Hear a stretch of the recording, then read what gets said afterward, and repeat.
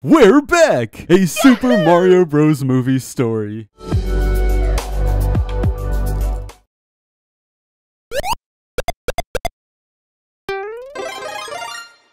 Oh yeah, Mario time!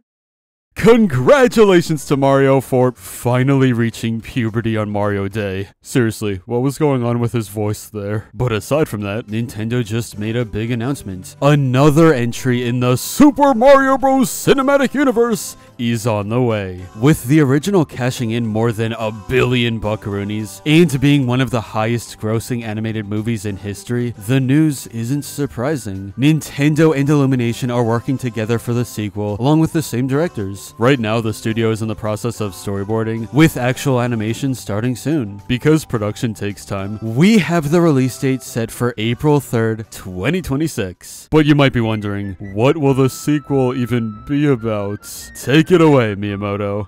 さあ、新しい映画に関する詳しいことはいつもお話ししている通り、手応えを感じられる段階になったらお知らせします。今回はマリオらしい世界をさらに広げて明るくて楽しい展開を考えていますので楽しみにしてください。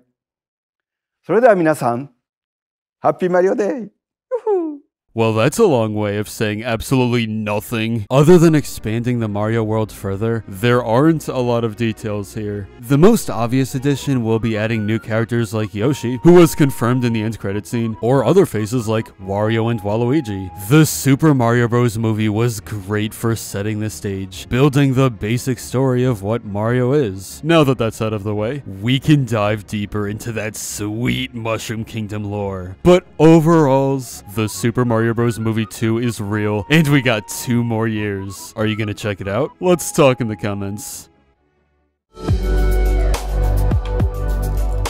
But anyway, that's all for this video. Subscribe for more awesome cartoon videos, give a thumbs up, and comment below to let me know what you think. Thanks for watching, and I'll see you guys next time.